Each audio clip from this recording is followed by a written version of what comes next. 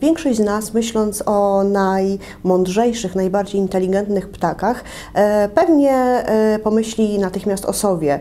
Nawet istnieje u nas powiedzenie mądre jak sowa, które e, według naukowców jest zupełnie nieprawdziwe, bo sowa, jak się okazuje, jest jednym z, mówiąc wprost, głupszych ptaków.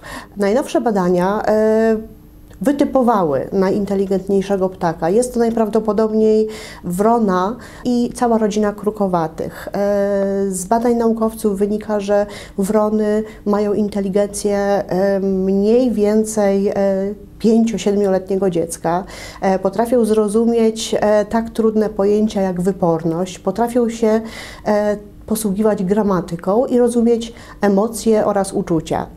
W ostatnich latach e, badania ornitologów, zoologów e, i też psychologów zwierzęcych przyniosły nam mnóstwo sensacyjnych e, odkryć dotyczących umysłu, mózgu ptaków. Wiemy już od jakiegoś czasu, że ptaki wspaniale potrafią posługiwać się na, narzędziami, e, czyli mają umiejętność e, przypisywaną do niedawna wyłącznie ssakom naczelnym.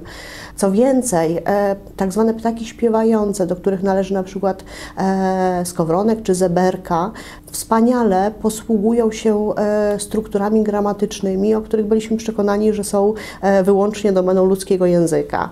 Wychodząc na spacer po parku czy obserwując ptaki, pamiętajmy więc, że są one dużo bliższe naszemu gatunkowi niż dotychczas nam się wydawało.